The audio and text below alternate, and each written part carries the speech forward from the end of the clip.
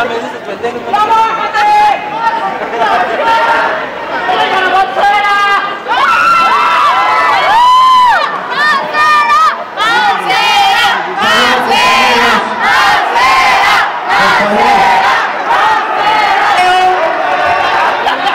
Demos la posibilidad de que concluya su intervención.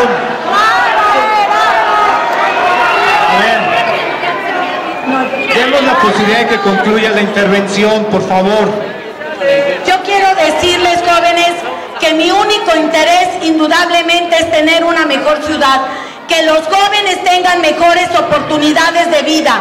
Hoy en el